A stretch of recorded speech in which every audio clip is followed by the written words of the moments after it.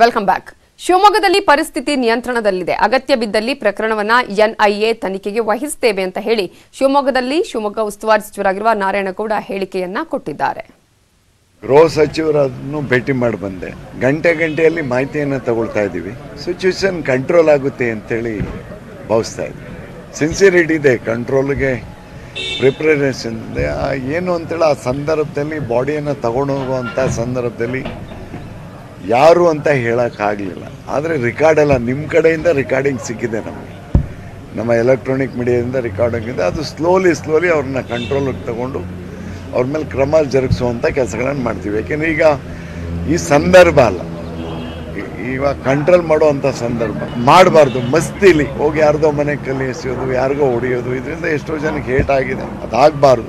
ಎದುರುಗಡೆಯವರು ಯಾರ್ಯಾರು ಅಡ್ವಾಂಟೇಜ್ ತಗೊಂಡಿದ್ದಾರೆ ಅಂತ ಎಲ್ಲ ರಿಕಾರ್ಡ್ ನಿಮ್ಮ ಕಡೆಯಿಂದ ರಿಕಾರ್ಡಿಂಗ್ ಸಿಕ್ಕಿದೆ ನಮ್ಮ ಮೇಲೆಲ್ಲ ಸ್ಲೋಲಿ ಸ್ಲೋಲಿ ಆ್ಯಕ್ಟಿಂಗ್ ಆ್ಯಕ್ಷನನ್ನು ಅಂತ ಕೆಲಸಗಳನ್ನು ಮಾಡ್ತಿದ್ವಿ.